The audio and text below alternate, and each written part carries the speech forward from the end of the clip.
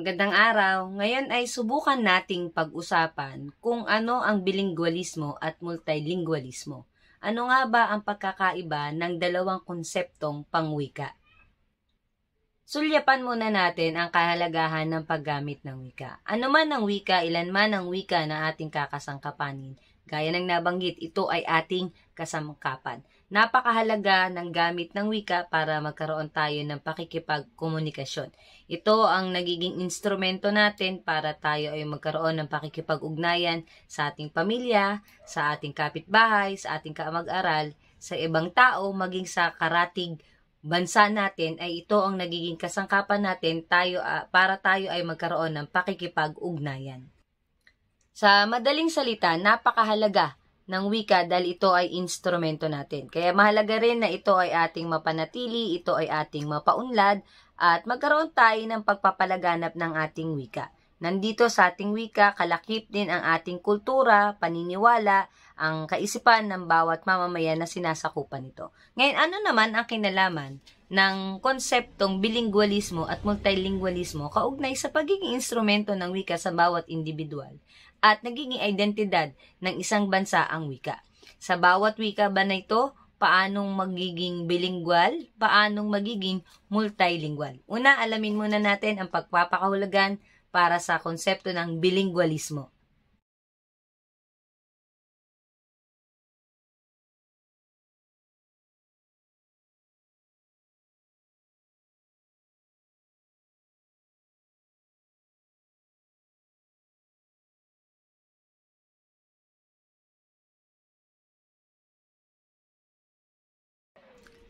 Gaya ng nabanggit, ang bilingualismo, ito ay tumutukoy sa pagiging bilingwal ng isang tao na may kakayanang gumamit ng dalawang wika.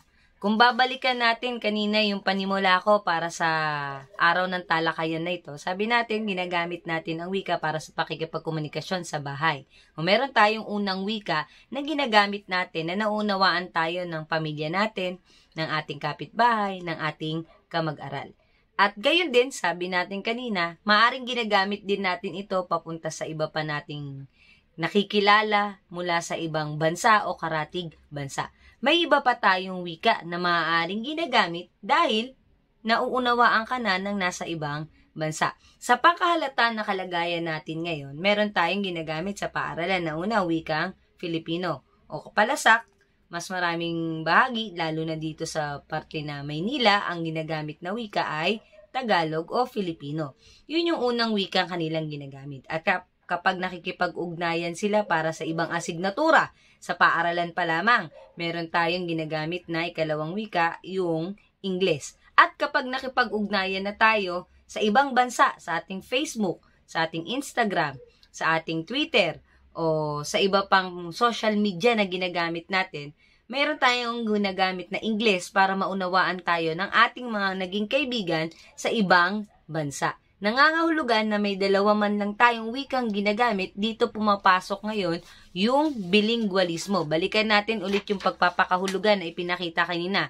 Bilingualismo, ito ay tumutukoy sa pagiging bilingwal ng isang tao na may kakayanang gumamit ng dalawang wika.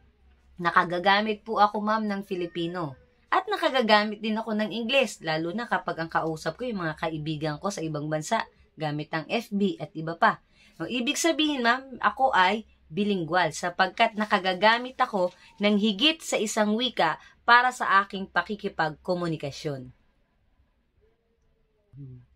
Bilang paglilinaw, lahat tayo ay bilingual sapagkat ang sa sistema ng paaralan ng ating bansa, may mga asignatura tayong tinuturo sa Filipino at may mga asignatura tayong tinuturo sa Ingles. Ibig sabihin, dalawang wika ang nagagamit natin. No? Pag sinabi nating nagagamit, uh, tayo nakakapagsalita, tayo nakasusulat, o kaya tayo nakauunawa at nagkakaroon tayo ng pakikipagkomunikasyon na maaaring pasalita o pasulat gamit ang dalawang wikang ito. At sa sistema ng ating paaralan, may mga asignatura tayong inaaral natin, tinatalakay natin gamit ang wikang Filipino, katulad ng mga asignatura sa wika, panitikan, pagbasa at pagsulat, at may mga asignatura din tayo na inaaral natin, tinatalakay natin sa paaralan gamit ang wikang Ingles tulad sa mga asignaturang English, Science, Math at iba pa. Nangangahulugan, ma'am, na ako ay isang bilingual. Ako po ay nakagagamit ng dalawang wika.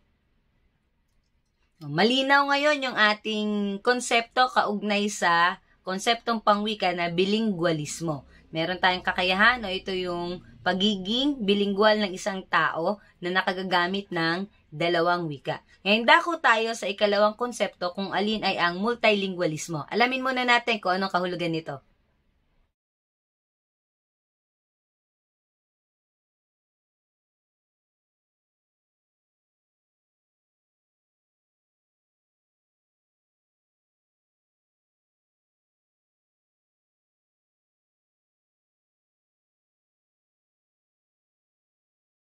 Mula sa tinuran, ang multilingualismo ito ay tumutukoy sa kakayanan ng tao na gumamit ng tatlo o higit pang wika. Ibig sabihin, hindi lang Filipino at hindi lang Ingles ang maaaring alam mong wika. Ah, ma'am, parang ako po.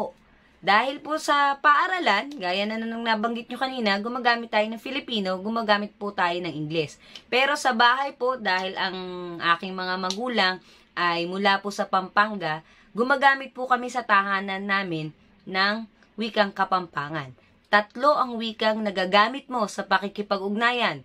Yung wikang Kapampangan sa inyong tahanan. Pagdating sa labas ng bahay, sa pamayanan, o maging sa paaralan, gumagamit tayo ng Filipino at kasama pa ang wikang Ingles. Tatlo ma'am, ibig sabihin ako po ay multilingual. Meron akong kakayahan na gumamit ng tatlong wika.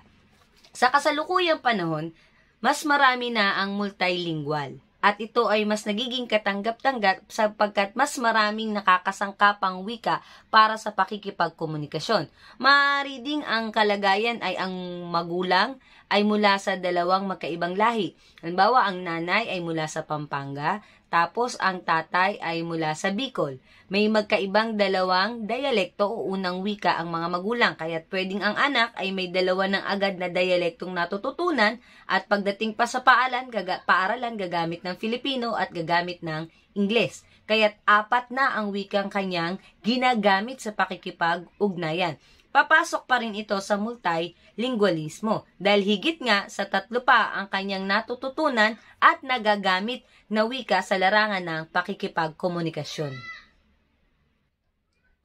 Karagdagan pa, hindi katakataka sa bansang Pilipinas na magkaroon tayo ng mga mamamayan na multilingual.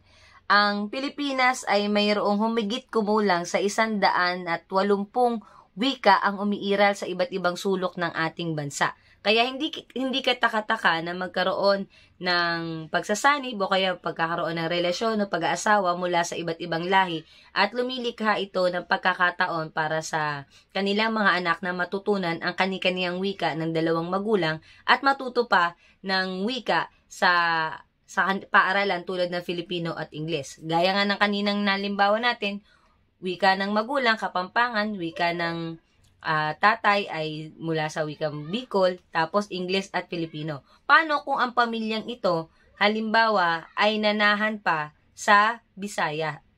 Sa Bisaya. So, ibig sabihin, pang limang wika pa, yung lingua franca sa kanilang lugar ay yung Bisaya. O, magkakaroon ng lima pang wika na magagamit o ginagamit ang kanilang anak. So, ibig sabihin po, ito ay nagpapakita lamang na nagiging karaniwan ang kakayahan ng ating mga mamamayan na magkaroon ng kaalaman at paggamit ng wika na higit sa dalawa, tatlo o pataas na kaalaman at nakagagamit ng wika para sa kanilang pakikipag-komunikasyon. Eh, bilang kabuuan po sa ating tinalakay, Uh, alalahanin natin kapag sinabing bilingualismo, ito ay tumutukoy sa dalawang wika na nagagamit para sa pakikipag-ugnayan o pakikipagkomunikasyon. Samantalang pag sinabi nating multilingualismo, ito ay kakayahan na gumamit ng tatlo o higit pang wika sa pakikipag-ugnayan. Nawa ay na, may naunawaan kayo at nalinawan kayo sa ating tinalakay dito sa Filipino. Tara, usap tayo.